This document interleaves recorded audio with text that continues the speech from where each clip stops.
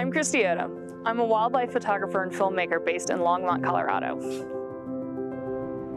When I got the call to do the Z9 campaign, what I really wanted to do was a piece that highlighted all the wildlife that lives at high altitude, the amazing sounds of the mountains, and I wanted to do something that just really connected people with alpine wilderness.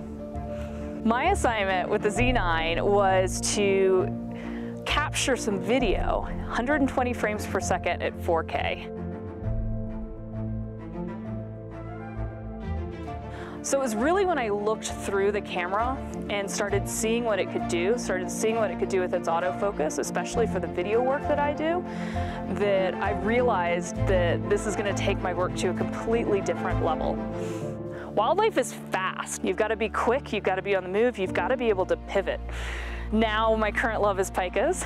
I'm so surprised that the autofocus could find the pika's eyes. I mean, we're talking about a tiny, tiny rabbit relative that's like the size of a potato, but it was able to see the eye of the pika and move around with the pika, and I was so excited about that.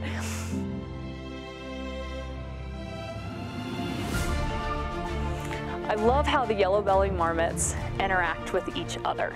It's quite beautiful to see a juvenile and a mother. They were right next to each other and I'm sitting there going, oh no, I want both eyes in focus. so I turn the camera on focus peaking. Focus peaking kicks in whenever you manually adjust the focus of your camera and you can see where your focus is hitting your subject.